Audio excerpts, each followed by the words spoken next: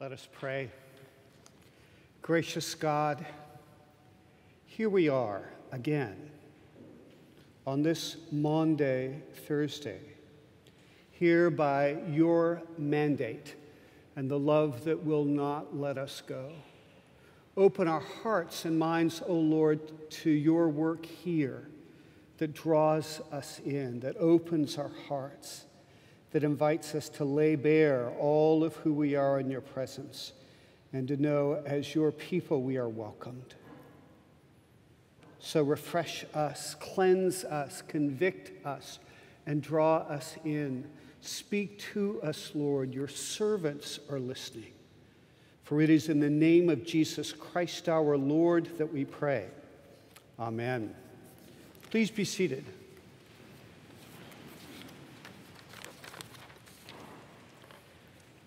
This afternoon, I was sending an email to a friend of mine. He is a young Reformed minister, and for him, the whole occasion of Maundy Thursday is foreign to at least his branch of that tradition. So I sent him this little email describing a little bit about what we would be doing when we gather here. So I talked a little bit about, you know, communion and foot washing. And here's what I said. I said, This is a solemn, holy, and sometimes invasive time. Solemn because we proclaim the Lord's death, holy because it is set apart in time to ponder and give thanks for the extraordinary mysteries of Christ's sacrificial atonement, and invasive because I am never invited to ponder these things at a distance. I am drawn in. In fact, if there was ever, ever a time when this Episcopalian would ever believe in Calvin's irresistible grace, it would be tonight. And it's because I have almost no power to say no to God's invitation, even though it can almost feel frightening. I, I want to be drawn in all the more. Yes, God, get between my toes when my feet are washed. Touch with your tenderness those very sensitive places in me, bringing peace and order. Create resting places between the unanswered questions. And above all, show me yourself. The good news, which like a strong rope pulls me into this service, is that I know in advance that I will be welcomed by God to his table. Quote, as the hymn says, nothing in my hands I bring, simply to the cross I cling. But knowing that doesn't necessarily work in me enough draw to actually open all of my heart in a way that even I just described. You see, the temptation is in this service is to enter into it, but enter into it only partially. And of course, if that's the best we can do, that's better, of course, than nothing at all but the intimacy of what is happening here in the washing of the feet and even in the receiving of the bread and wine, where we ingest into the deepest part of our system that which we say literally communicates to us the very mystery of the presence of Christ into the deepest part of who we are. Well, that's invasive, isn't it? Certainly more intimate than almost anything we even begin to know about human relationships. So it's a leap to go from that place where I feel like a part of my heart is protected and to come into a place where my, I'm being invited to lay down my arms, to lay down my guard. Christina Rossetti, the famous Christian poet, puts it this way Am I a stone and not a sheep that I can stand, O Christ, beneath thy cross to number drop by drop thy blood's slow loss and yet not weep? Not so the women, loved who with exceeding grief lamented thee. Not so fallen Peter, who wept bitterly. Not so the thief on the cross. Not so the sun and the moon, which hid their faces in a starless sky, a horror of great darkness at broad noon. No, I, only I. Yet give not o'er, but seek thy sheep, true shepherd of the flock, greater than Moses. Turn and look once more and smite this rock. That place inside of me that still keeps God at a distance. And I, I don't know about you, but how I know that place exists in my life is because the absence of stillness. You see, if there is within me the capacity to be still, that means there is within me the capacity to contemplate. And if there is within me the capacity to contemplate, that means there is within me the capacity, by God's mercy, to receive a guest into that place of silent contemplation. The guest, of course, being a permanent resident, God. And because there is a part of me that actually really likes having that onslaught of information, that sense of it's all right here, and there's multitasking, and there are things to do. The very nature and character of my life, and I'm sure many of ours, is actually cultivated against developing that kind of inner stillness, that kind of contemplation. And so as a result, this becomes, in fact, a defense.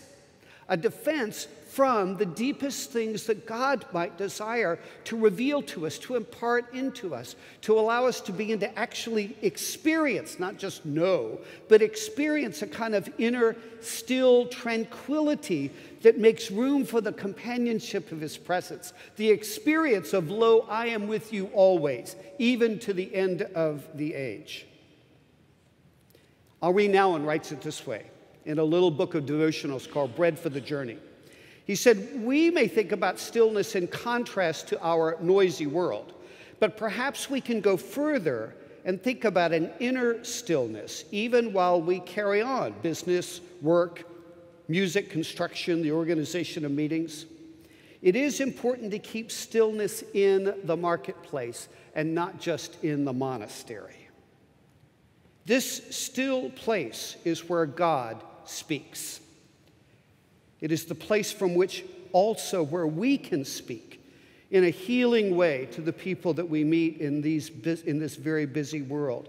Without that still space, we start spinning. We become driven people, running all over the place without much real direction.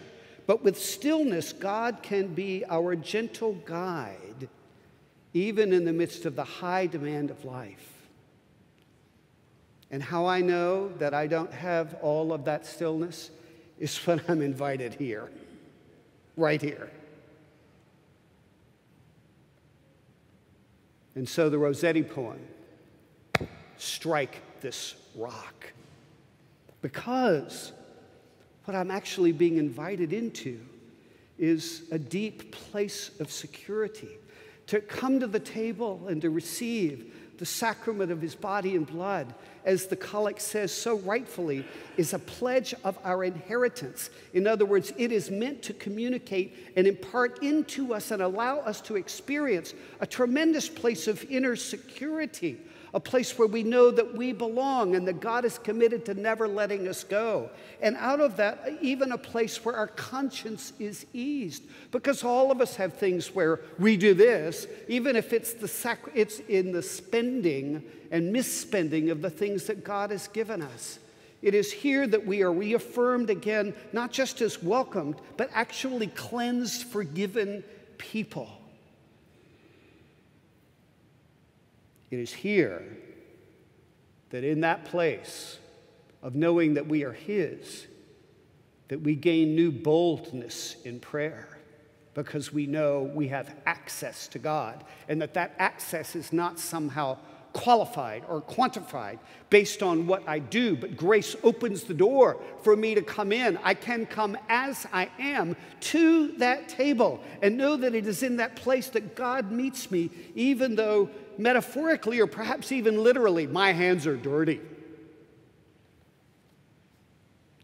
And it is in that deep place of security that I remind I am reminded that I am literally kept, kept, protected, kept in the power of God. As Paul writes, nothing can separate us from the love of God that is in Christ Jesus. You see, if all I know is this, I don't have actually any experience of much of any of that, much less an, a day to day belief in it.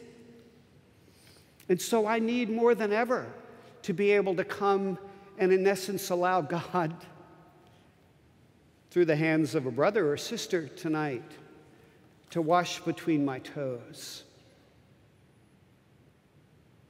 And to show me by that action that even as Jesus washed the feet of his disciples, knowing that they would betray him,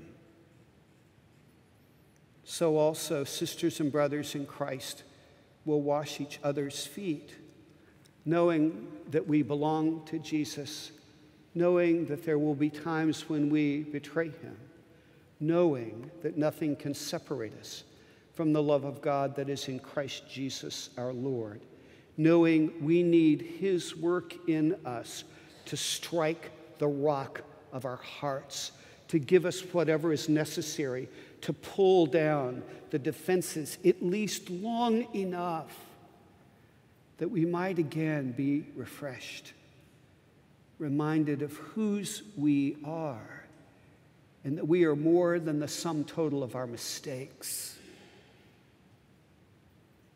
and that His love never lets us go. Will you enter into that? Will you pray for God to pull down those places of protection that you have created and that I've created? That we might commune with Him, not just receive from Him, but commune with Him and know the pledge the pledge that God makes to us and reminds us of again and again of eternal life, that we are His and that He will never let us go. Amen.